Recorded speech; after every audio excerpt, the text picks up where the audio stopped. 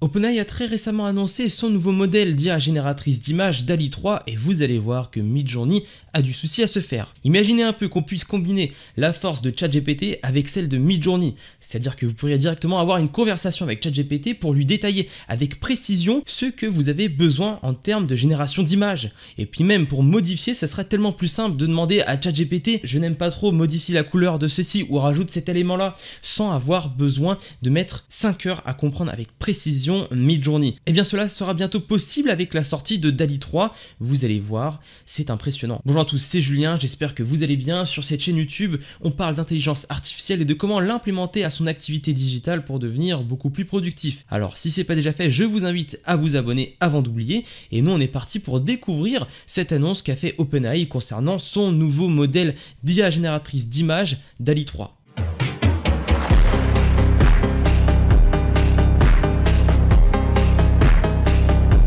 Eh bien pour commencer cette vidéo, je pense qu'il est nécessaire de s'intéresser au but très précis de DALI 3. Le but très précis de DALI 3 sera de traduire facilement vos idées en images exceptionnellement détaillées. Vous avez entendu, il y a une notion de facilité et de détail. Vous allez voir qu'il y a une énorme amélioration par rapport à ce qu'on connaît déjà. en termes de facilité, il faut quand même se rappeler que le plus gros concurrent euh, de génération d'images par l'intelligence artificielle à l'heure actuelle, c'est Midjourney. Midjourney possède quand même pas mal de désavantages. Si on liste un peu tous les, désavantages qu'on peut trouver sur Midjourney, on a un accès sur Discord, c'est pas du tout intuitif. je veux dire, pourquoi pas faire directement quelque chose en ligne? Voilà, déjà une première contrainte. Deuxième contrainte, c'est un langage non naturel. Il faut apprendre à parler à Midjourney. Ce n'est pas un simple texte comme sur ChatGPT, un langage dit naturel. Là, on est sur quelque chose où est-ce qu'il y a des options, des virgules?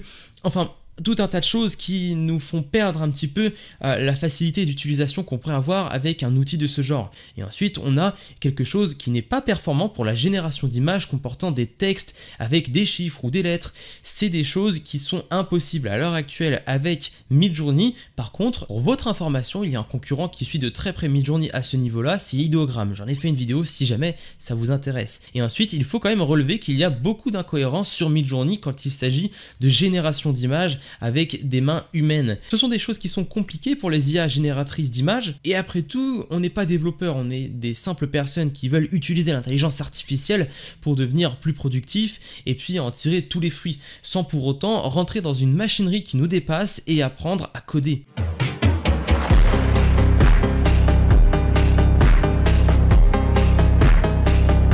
Mais alors pourquoi j'en fais une vidéo? Pourquoi je parle de DALI 3 comme si c'était une révolution? Qu'est-ce qui change réellement avec ce modèle? Eh bien je vais tout vous expliquer. On commence déjà avec une amélioration considérable de la capacité à générer des images. DALI a été le premier outil d'intelligence artificielle très concret que j'ai utilisé. J'ai vite délaissé l'outil pour passer à Midjourney qui était beaucoup plus impressionnant en termes de qualité de génération d'images. On va pas se leurrer, DALI ce n'était pas le meilleur outil d'intelligence artificielle pour générer des images. Mais ça, je pense que c'était avant. Parce que regardez cet exemple. À gauche, on a une image qui a été générée avec DALI 2 et à droite, une image qui a été générée avec DALI 3. Tous les deux le même prompt et on peut voir que la qualité d'image et ce qui en ressort est beaucoup plus qualitatif avec le nouveau modèle de langage. On pourrait même croire que c'est Midjourney qui a fait l'image de droite.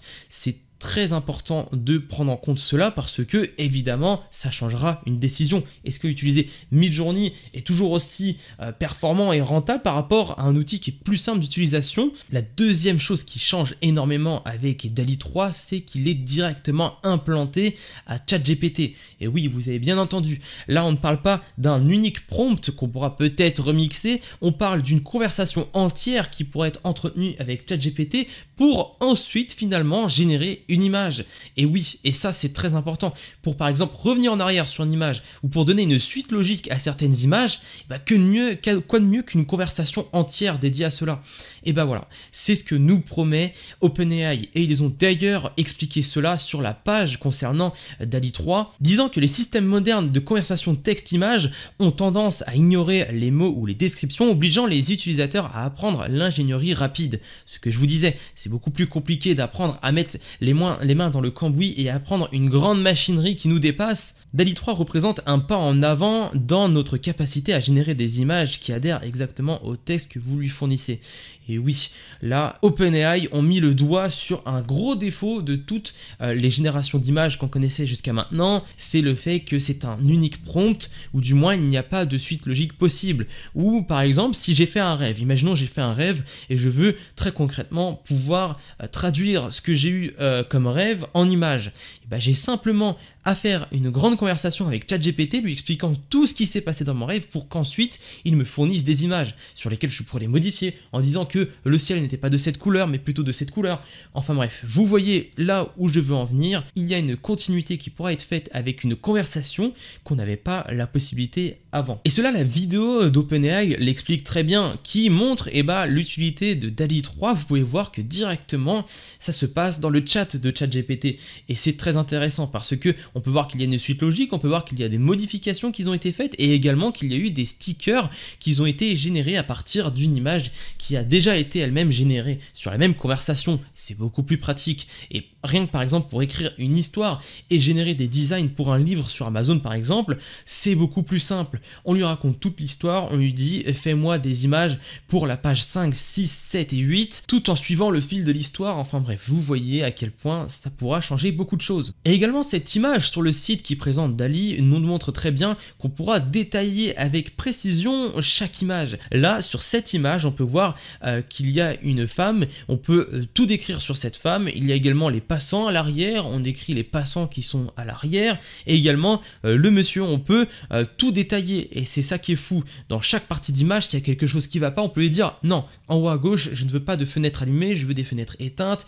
Enfin, vous avez compris que c'est très puissant on aura une précision qu'on n'a jamais vue quand il s'agit euh, de retouches pour les images générées par l'IA, ou du moins pour générer des simples images avec l'IA. Une chose très importante également sur laquelle DALI 3 se démarque de ses concurrents, c'est la possibilité de générer des images cohérentes avec des lettres, des chiffres et des mains humaines. Et à vrai dire, ça c'est la bête noire des IA génératrices d'images. C'est pas très cohérent. Vraiment quand on regarde les images générées par Midjourney, il n'y a jamais de texte cohérent, des fois il invente des langues et les mains c'est toujours un petit peu bizarre. Et eh bien c'est sur ce point très précis qu'OpenAI a voulu faire la différence avec DALI 3. Et oui, cela ils le mettent bien en avant parce que la première image qu'on a, c'est directement une image avec un texte. Et là, bah, on pense déjà à toutes les BD qu'on pourrait faire avec cette image qui représente un avocat chez le psy. Enfin bref, et vous avez vu même que le prompt n'est pas si compliqué que cela.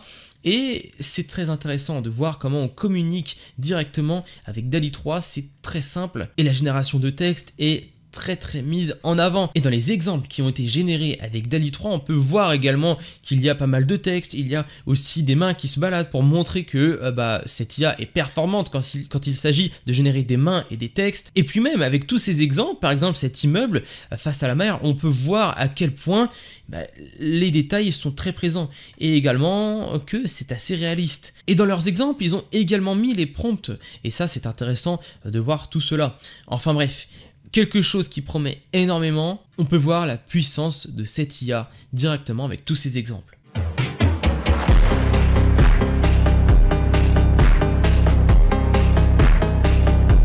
Et bien évidemment, comme tout outil d'intelligence artificielle, il y a des limites. J'en ai relevé deux pour l'instant sur les limites euh, qu'aura directement DALI 3 qui nous ont annoncé OpenAI. Alors il y a déjà le fait qu'il ne peut pas générer du contenu violent, adulte ou haineux, ce qui est normal et c'est la base pour les outils d'intelligence artificielle. Et deuxième limite de DALI 3, c'est qu'on ne pourra pas faire générer n'importe quoi avec n'importe qui. On ne pourra pas prendre une personnalité publique et la mettre dans un prompt. Ça permettrait par exemple de faire de la propagande, de la désinformation, de la diffamation, et ça, il va pas se mouiller. J'ai envie de dire, c'est tant mieux, au moins ça évite tous les risques et tous les dramas et toutes les censures qu'on pourrait avoir avec une nouvelle loi sur l'intelligence artificielle.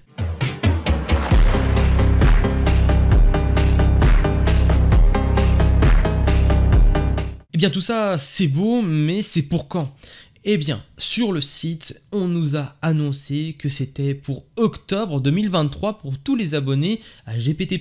J'ai évidemment GPT+, ne vous inquiétez pas, j'en ferai une vidéo et soyez attentifs parce que DALI 3 risquera d'être intégré à Bing Chat, l'intelligence artificielle et le chatbot euh, de Microsoft que j'ai déjà testé et qui m'a déjà impressionné sur sa génération d'images. Là, je pense que ça va être un bon petit combo gagnant. Pour tout résumer, j'ai envie de vous dire que ce que vous avez dans la tête pourra être de manière beaucoup plus facile qu'avec Midjourney et ses prompts beaucoup plus compliqués. Là, on pourra directement avoir une conversation, parler longtemps avec ChatGPT avant qu'il nous génère quelque chose. On pourra affiner comme on veut et ça, ça va être excellent. En attendant, si vous voulez découvrir des outils qui sont tout aussi impressionnants, je vous invite à aller voir en description. J'ai réalisé un PDF regroupant les 50 meilleurs outils d'intelligence artificielle à connaître pour ne pas être largué avec l'arrivée de l'intelligence artificielle. J'ai tout fait, j'ai tout trié parmi une centaine d'outils et je vous ai mis la crème de la crème.